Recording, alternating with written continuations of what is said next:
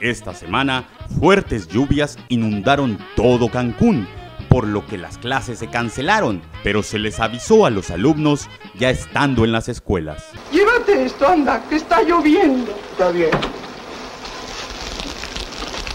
Está lloviendo re macizo. Yo no sé cómo no me sacan otro día que no sea ahí.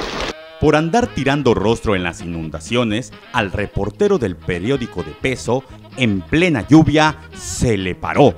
La camioneta, claro. Llueve sobre mojado, bla bla bla bla bla bla bla. Llueve sobre mojado. A pesar de la contingencia, el comandante de la guarnición militar, Manuel Virgilio Morales, se negó como siempre a ser entrevistado por los medios de comunicación y como siempre salió pasito a pasito. Pasito tum tum, pasito tum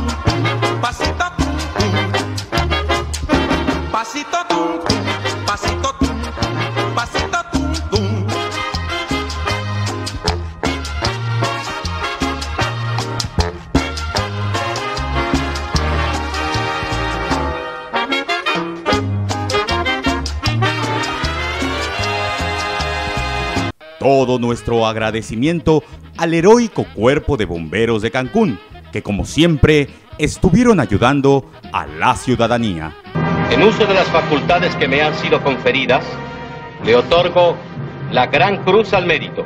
No importan las distancias ni las circunstancias, no me dejaré caer, no me dejaré vencer, no me dejaré caer.